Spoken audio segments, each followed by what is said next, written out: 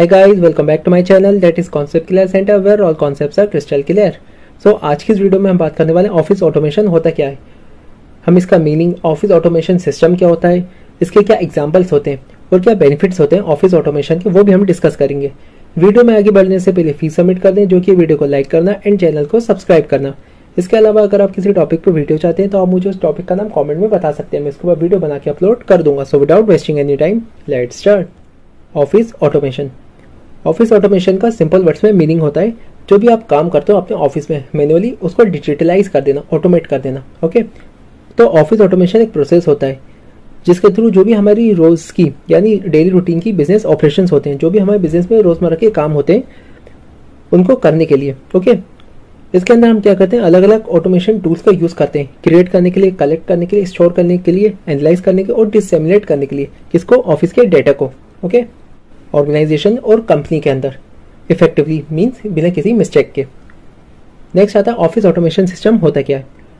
Office automation system अलग अलग tool जो होते हैं उनका एक सेट होता है, जिसके थ्रू हम कलेक्ट करते हैं प्रोसेस करते हैं स्टोर करते हैं रिट्रीव करते हैं और डिसमिनेट करते हैं इन्फॉर्मेशन को।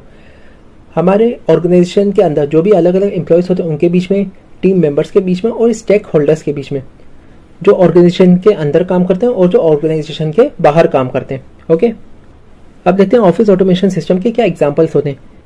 इसमें हमारे इलेक्ट्रॉनिक पब्लिशिंग आ है, जिसके एग्ज़ाम्पल है word processing Microsoft office suite okay image processing and document storage video conferencing office management communication and collaboration tools जिसमें हमारे वॉइस मेल और ईमेल भी आ जाते हैं okay facility management etcetera next आते हैं, क्या बेनिफिट्स होते हैं ऑफ़िस ऑटोमेशन के? First human effort minimization through automation जब भी आप कोई काम करते हो मैनुअली तो उसमें ज़्यादा से ज़्यादा एम्प्लॉयज़ की ज़रूरत होती है। मीन्स ज़्यादा से ज़्यादा इंसानों की ज़रूरत होती है ह्यूमन्स की ज़रूरत होती है। बट जब आप अपना काम ऑटोमेट कर देते हो तो उसमें कम ह्यूमन एफर्ट की ज़रूरत होती है, ठीक है? अब कम ह्यूमन एफर्ट लेंगे तो मीन्स कम एम्प्लॉयज़ लगेंगे, जिसकी वजह से जो हमारी कॉस्ट होगी, वो भी कम होगी, ठीक है?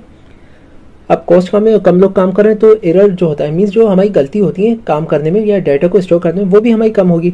अब एरर कम होगी तो हमारा जो काम होगा, वो फास्ट होगा और इफिशियंट होगा। काम इफिशियंट होगा तो हम कह सकते हैं जो ओवरऑल प्रोडक्टिविटी होगी, हमारे काम की, वो बढ़ेगी।